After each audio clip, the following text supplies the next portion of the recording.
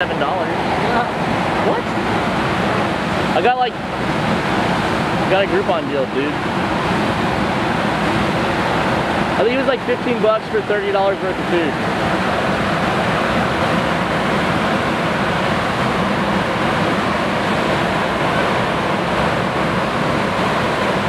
Or I could just go there and drink a bunch of beers and get a burger. You should get your own Groupon. You should get your own Groupon. $15, $30 worth of food. It's like a burger and a few beers. Two beers. And fries.